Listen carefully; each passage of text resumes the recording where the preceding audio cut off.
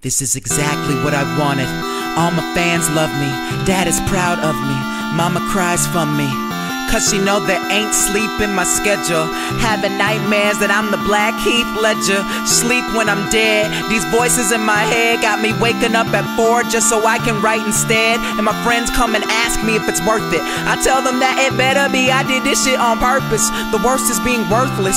Now a nigga priceless. Bloomingdale's coat. I don't have to check the prices, but I only go to feel a sense of control. Cause I get this shit for free if I wear promotional.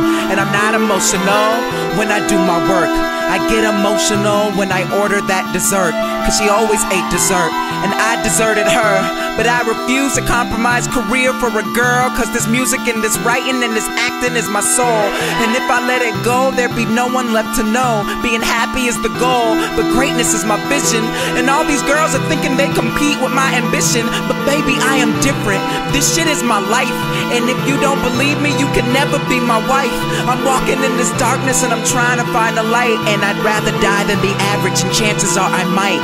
Because things are changing, my life gone pecans. 13 cities in the last eight weekends. All I know is, baby, I'm so tired.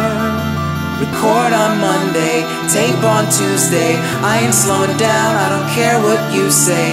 Fuck this health thing, mama, I'm